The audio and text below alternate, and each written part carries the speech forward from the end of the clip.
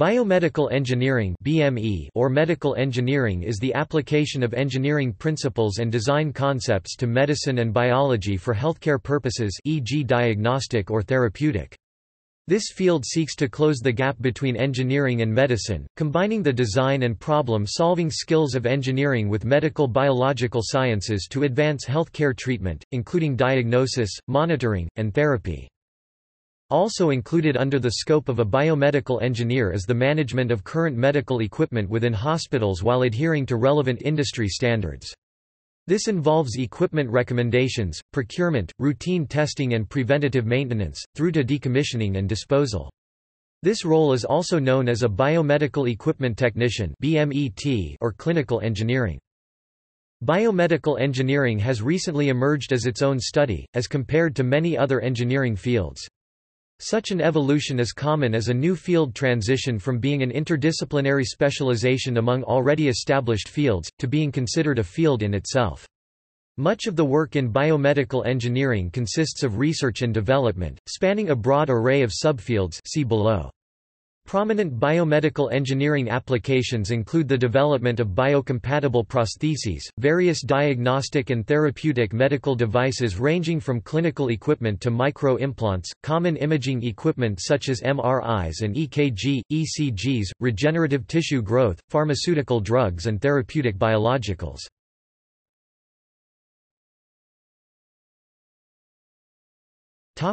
Bioinformatics Bioinformatics is an interdisciplinary field that develops methods and software tools for understanding biological data. As an interdisciplinary field of science, bioinformatics combines computer science, statistics, mathematics, and engineering to analyze and interpret biological data. Bioinformatics is considered both an umbrella term for the body of biological studies that use computer programming as part of their methodology, as well as a reference to specific analysis pipelines that are repeatedly used, particularly in the field of genomics. Common uses of bioinformatics include the identification of candidate genes and nucleotides SNPs. Often, such identification is made with the aim of better understanding the genetic basis of disease, unique adaptations, desirable properties especially in agricultural species, or differences between populations. In a less formal way, bioinformatics also tries to understand the organizational principles within nucleic acid and protein sequences.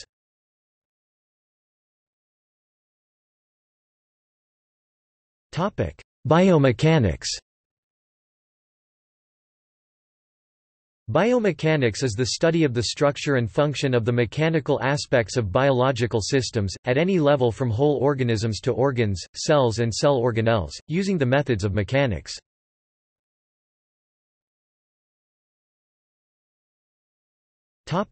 Biomaterial A biomaterial is any matter, surface, or construct that interacts with living systems. As a science, biomaterials is about 50 years old.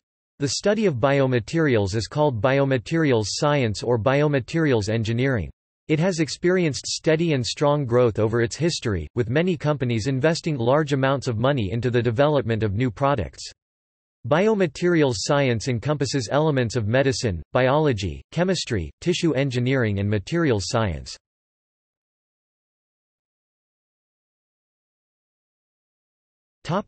Biomedical optics.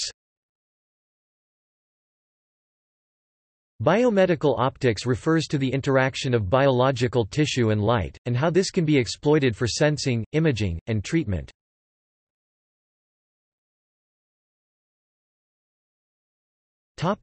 Tissue engineering Tissue engineering, like genetic engineering see below, is a major segment of biotechnology, which overlaps significantly with BME. One of the goals of tissue engineering is to create artificial organs via biological material for patients that need organ transplants. Biomedical engineers are currently researching methods of creating such organs. Researchers have grown solid jawbones and tracheas from human stem cells towards this end. Several artificial urinary bladders have been grown in laboratories and transplanted successfully into human patients. Bioartificial organs, which use both synthetic and biological component, are also a focus area in research, such as with hepatic assist devices that use liver cells within an artificial bioreactor construct.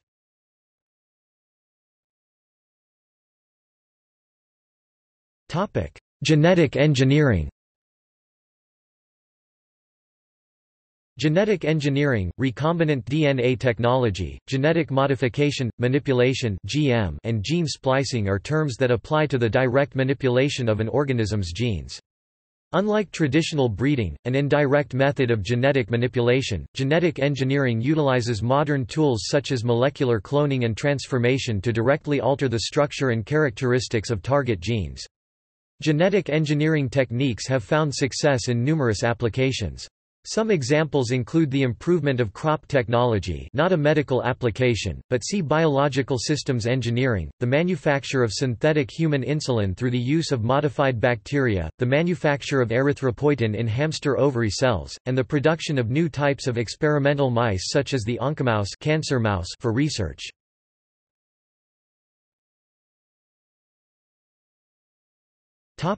Neural engineering Neural engineering also known as neuroengineering is a discipline that uses engineering techniques to understand, repair, replace, or enhance neural systems. Neural engineers are uniquely qualified to solve design problems at the interface of living neural tissue and non-living constructs.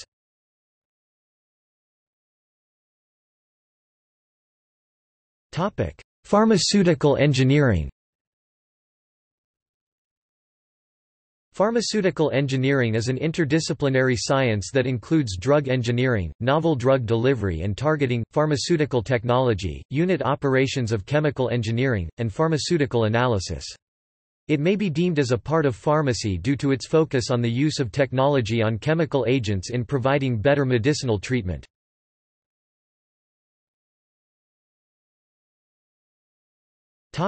Medical devices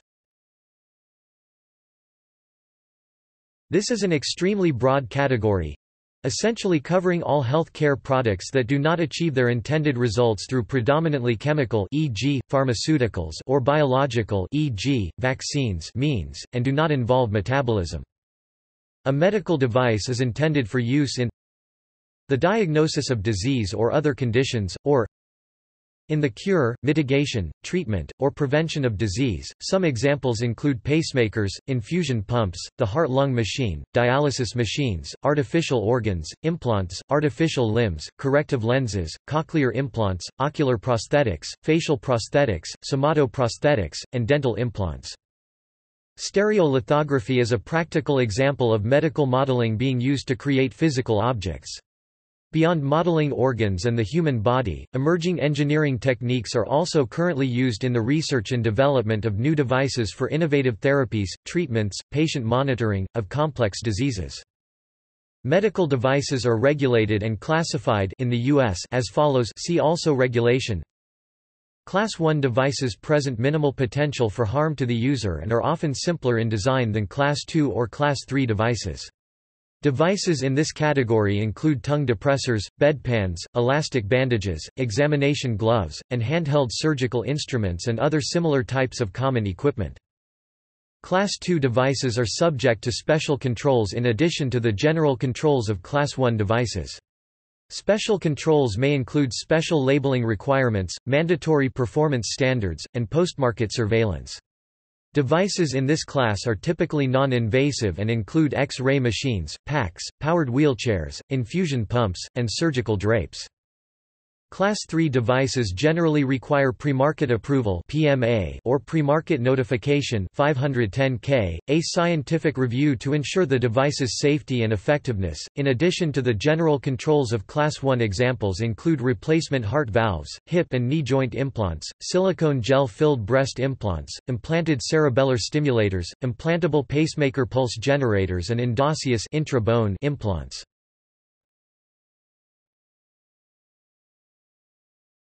Topic: Medical imaging. Medical biomedical imaging is a major segment of medical devices.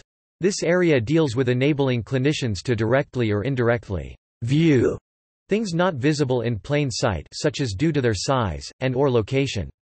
This can involve utilizing ultrasound, magnetism, UV, radiology, and other means. Imaging technologies are often essential to medical diagnosis, and are typically the most complex equipment found in a hospital including, fluoroscopy, magnetic resonance imaging MRI, nuclear medicine, positron emission tomography PET, PET-CT scans, projection radiography such as X-rays and CT scans, tomography, ultrasound, optical microscopy, and electron microscopy.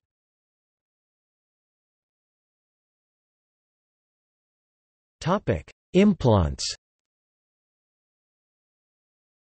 An implant is a kind of medical device made to replace and act as a missing biological structure as compared with a transplant, which indicates transplanted biomedical tissue. The surface of implants that contact the body might be made of a biomedical material such as titanium, silicone or apatite depending on what is the most functional. In some cases, implants contain electronics, e.g. artificial pacemakers and cochlear implants.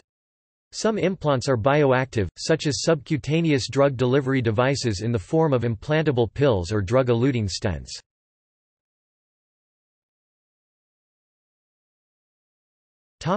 Bionics Artificial body part replacements are one of the many applications of bionics.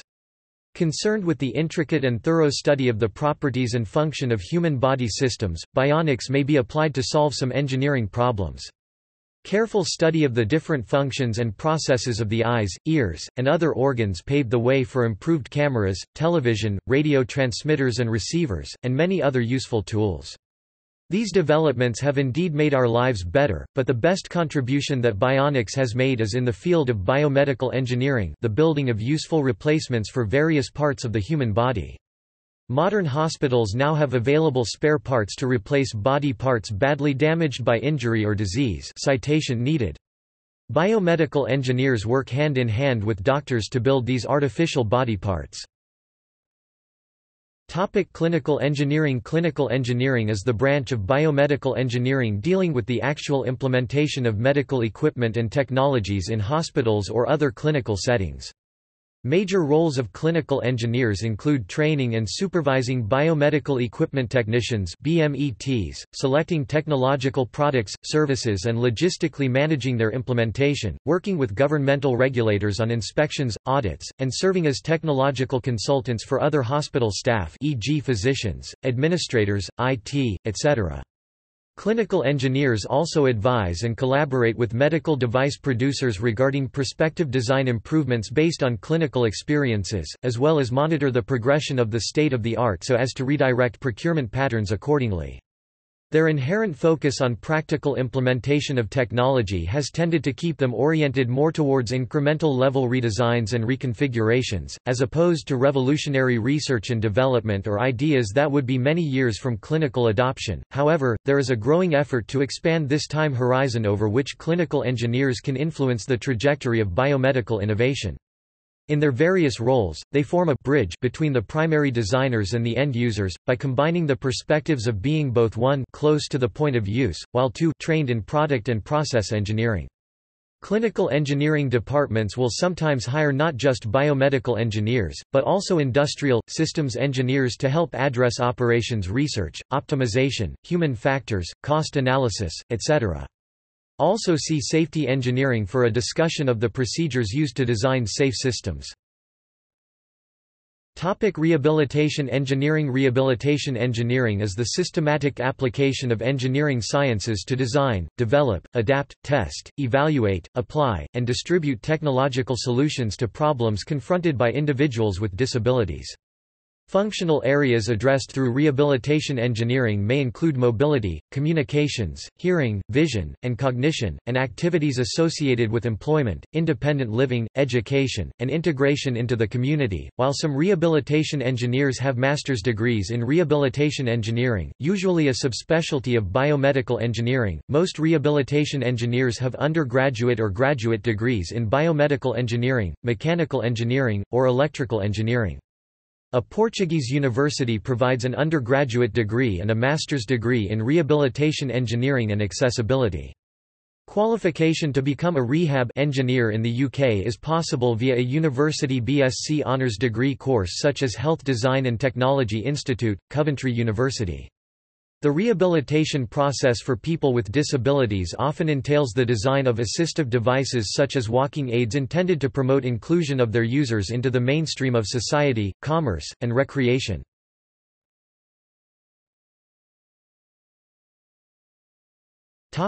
Regulatory issues Regulatory issues have been constantly increased in the last decades to respond to the many incidents caused by devices to patients.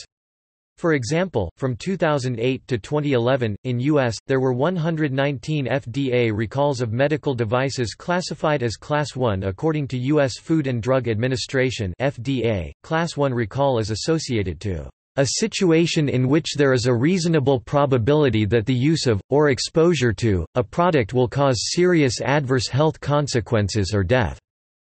Regardless of the country-specific legislation, the main regulatory objectives coincide worldwide. For example, in the medical device regulations, a product must be, 1 safe and 2 effective and 3 for all the manufactured devices, a product is safe if patients, users and third parties do not run unacceptable risks of physical hazards death, injuries, in its intended use. Protective measures have to be introduced on the devices to reduce residual risks at acceptable level if compared with the benefit derived from the use of it. A product is effective if it performs as specified by the manufacturer in the intended use. Effectiveness is achieved through clinical evaluation, compliance to performance standards or demonstrations of substantial equivalence with an already marketed device.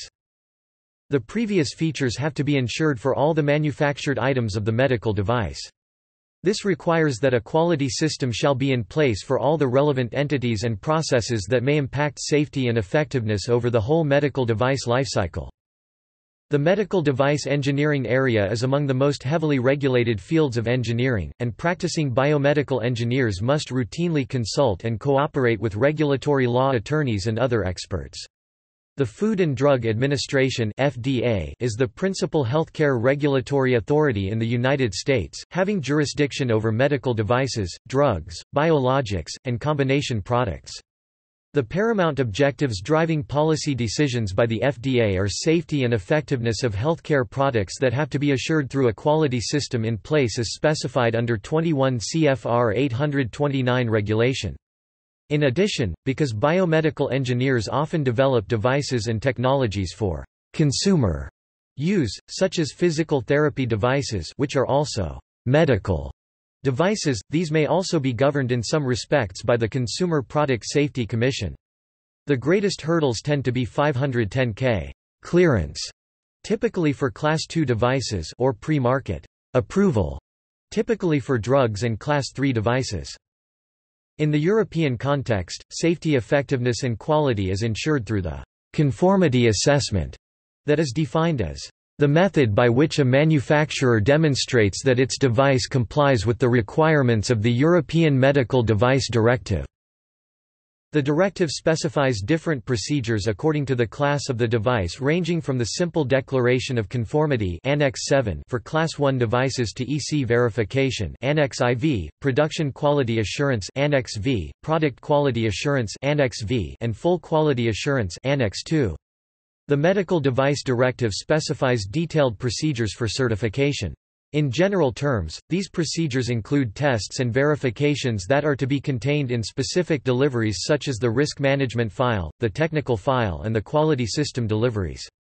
The risk management file is the first deliverable that conditions the following design and manufacturing steps. Risk management stage shall drive the product so that product risks are reduced at an acceptable level with respect to the benefits expected for the patients for the use of the device. The technical file contains all the documentation data and records supporting medical device certification. FDA technical file has similar content although organized in different structure. The quality system deliverables usually includes procedures that ensure quality throughout all product life cycle. The same standard ISO EN 13485 is usually applied for quality management systems in US and worldwide. In the European Union, there are certifying entities named notified bodies accredited by European member states. The notified bodies must ensure the effectiveness of the certification process for all medical devices apart from the Class 1 devices where a declaration of conformity produced by the manufacturer is sufficient for marketing. Once a product has passed all the steps required by the Medical Device Directive, the device is entitled to bear a CE marking, indicating that the device is believed to be safe and effective when used as intended, and, therefore, it can be marketed within the European Union area. The different regulatory arrangements sometimes result in particular technologies being developed first for either the US or in Europe depending on the more favorable form of regulation. While nations often strive for substantive harmony to facilitate cross-national distribution, philosophical differences about the optimal extent of regulation can be a hindrance. More restrictive regulations seem appealing on an intuitive level, but critics decry the trade-off cost in terms of slowing access to life-saving developments.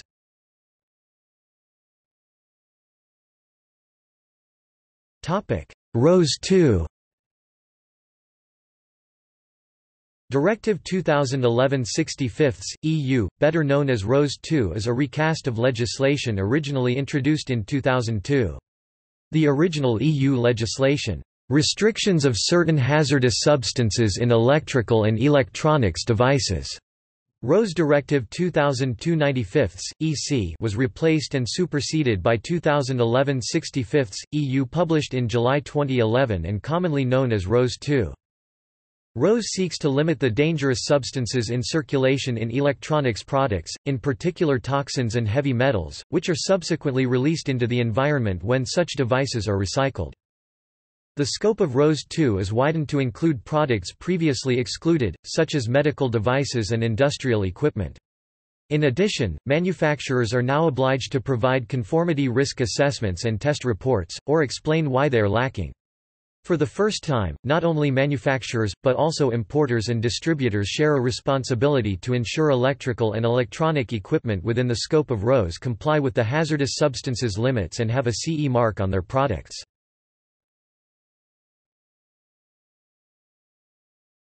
IEC 60601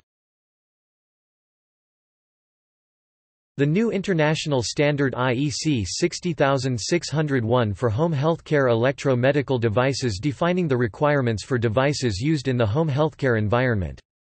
IEC 60601 2010 must now be incorporated into the design and verification of a wide range of home use and point-of-care medical devices along with other applicable standards in the IEC 60601 3rd edition series. The mandatory date for implementation of the N-European version of the standard is June 1, 2013. The US FDA requires the use of the standard on June 30, 2013, while Health Canada recently extended the required date from June 2012 to April 2013. The North American agencies will only require these standards for new device submissions, while the EU will take the more severe approach of requiring all applicable devices being placed on the market to consider the home healthcare standard.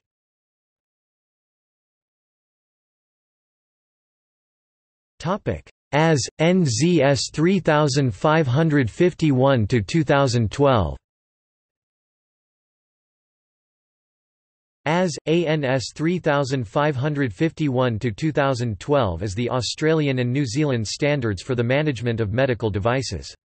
The standard specifies the procedures required to maintain a wide range of medical assets in a clinical setting e.g. hospital. The standards are based on the IEC 60601 standards.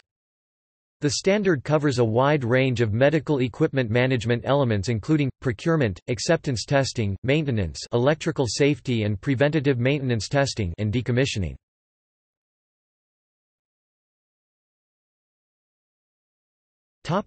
Training and certification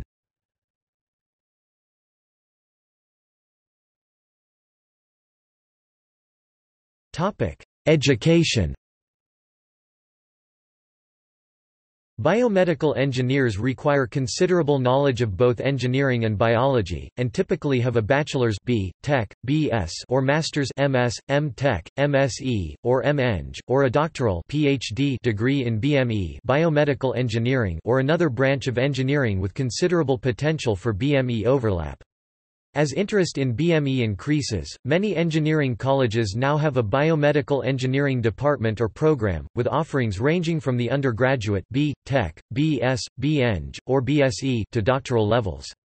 Biomedical engineering has only recently been emerging as its own discipline rather than a cross-disciplinary hybrid specialization of other disciplines, and BME programs at all levels are becoming more widespread, including the Bachelor of Science in Biomedical Engineering which actually includes so much biological science content that many students use it as a pre-med major in preparation for medical school.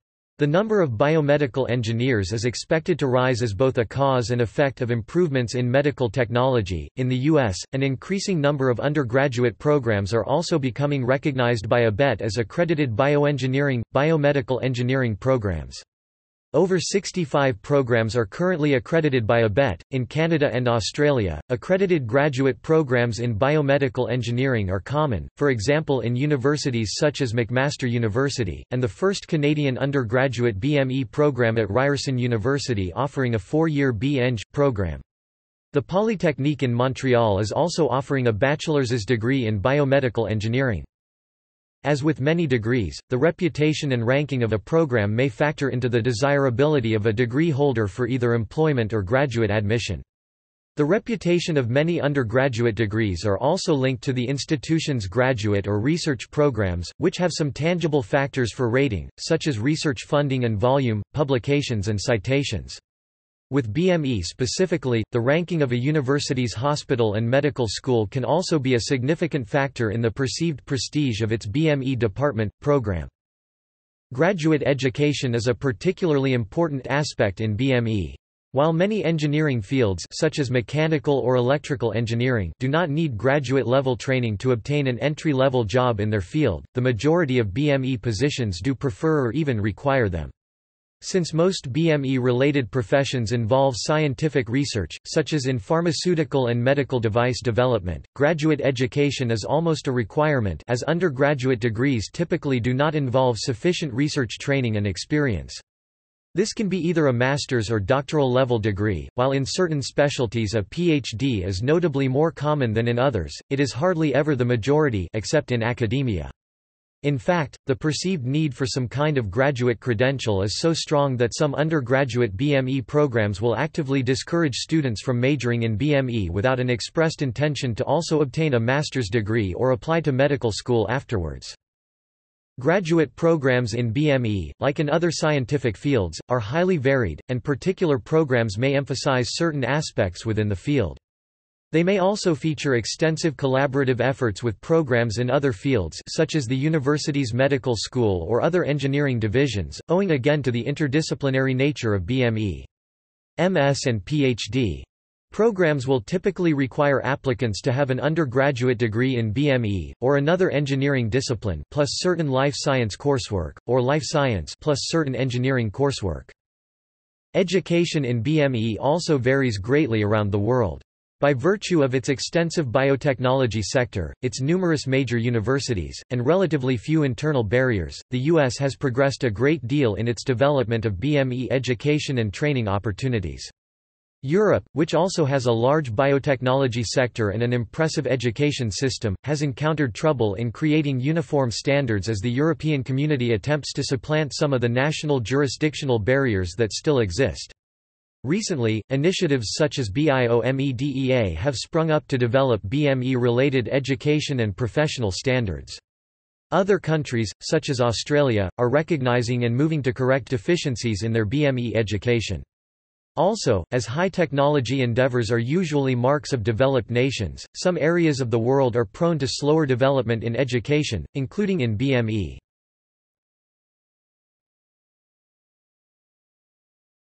Topic: Licensure certification.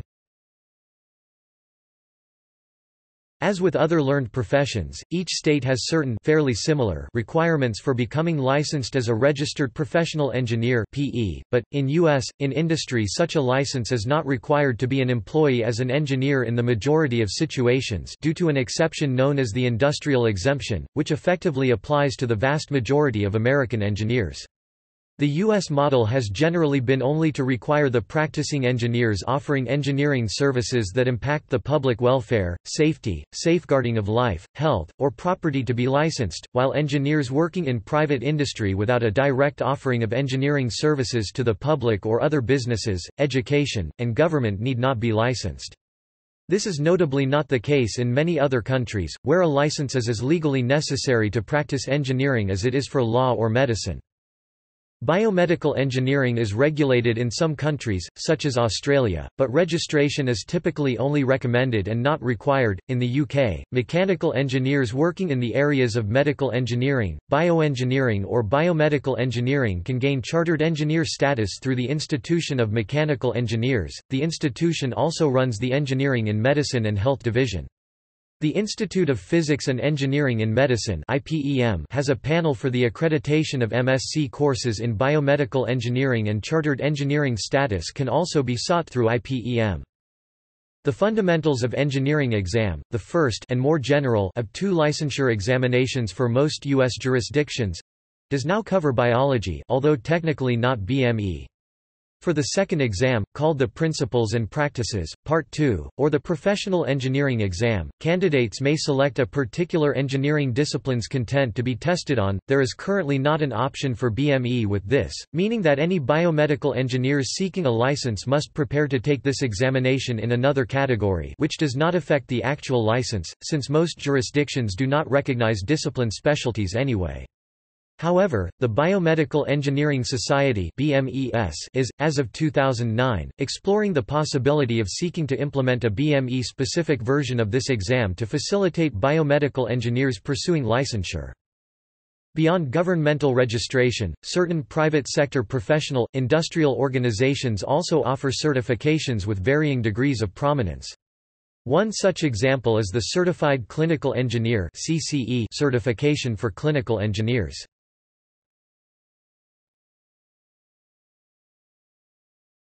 Topic: Career prospects. In 2012 there were about 19,400 biomedical engineers employed in the U.S., and the field was predicted to grow by 27% much faster than average from 2012 to 2022.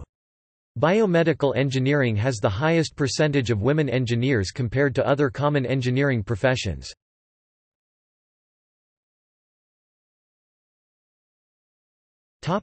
Notable figures. Forrest Bird deceased aviator and pioneer in the invention of mechanical ventilators. Y.C. Fung, professor emeritus at the University of California, San Diego, considered by many to be the founder of modern biomechanics.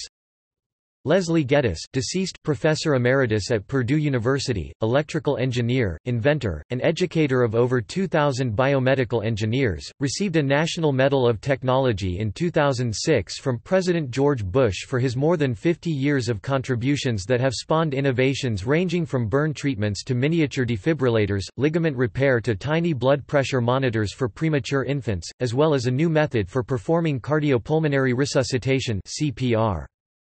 Willem Johan Kolff deceased pioneer of hemodialysis as well as in the field of artificial organs. Robert Langer, institute professor at MIT, runs the largest BME laboratory in the world, pioneer in drug delivery and tissue engineering. John Macleod deceased, one of the co-discoverers of insulin at Case Western Reserve University. Alfred E. Mann, physicist, entrepreneur and philanthropist. A pioneer in the field of biomedical engineering. J. Thomas Mortimer, Emeritus Professor of Biomedical Engineering at Case Western Reserve University. Pioneer in Functional Electrical Stimulation FES. Robert M. Nerem, Professor Emeritus at Georgia Institute of Technology. Pioneer in regenerative tissue, biomechanics, and author of over 300 published works. His works have been cited more than 20,000 times cumulatively. P. Hunter Peckham, Donnell Professor of Biomedical Engineering and Orthopedics at Case Western Reserve University. Pioneer in Functional Electrical Stimulation FES. Nicholas A. Peppas, Chaired Professor in Engineering, University of Texas at Austin, pioneer in drug delivery, biomaterials, hydrogels and nanobiotechnology. Robert Plonsey, Professor Emeritus at Duke University, pioneer of electrophysiology Otto Schmitt deceased biophysicist with significant contributions to BME, working with biomimetics Ascher Shapiro deceased institute professor at MIT, contributed to the development of the BME field, medical devices e.g. intra-aortic balloons John G. Webster, Professor Emeritus at the University of Wisconsin-Madison, a pioneer in the field of instrumentation amplifiers for the recording of electrophysiological signals. U.A. Whitaker deceased provider of the Whitaker Foundation, which supported research and education in BME by providing over $700 million to various universities, helping to create 30 BME programs and helping finance the construction of 13 buildings.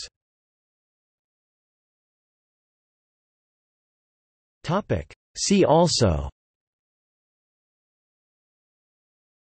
Biomedicine – branch of medical science that applies biological and physiological principles to clinical practice. Cardiophysics. Computational anatomy. Medical physics. Physiome